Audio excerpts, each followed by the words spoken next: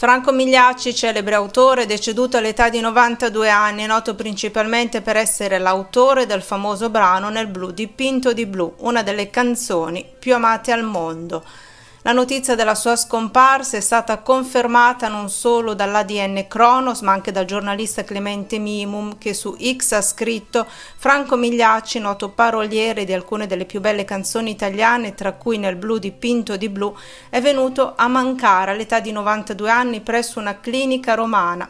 La sua famiglia è rimasta accanto a lui fino all'ultimo momento. Migliacci è stato uno dei più grandi autori di successo della musica italiana. Le sue composizioni sono diventate dei veri e propri capolavori intramontabili.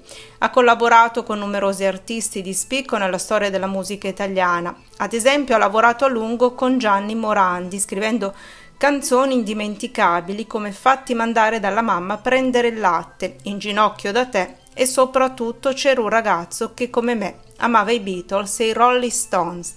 La penna di Migliacci ha creato anche canzoni per artisti del calibro di Mina, Milva, Fred Bongusto, Rita Pavone, Patti Bravo, tra gli altri. Il suo contributo alla musica italiana rimarrà per sempre inciso nella memoria collettiva.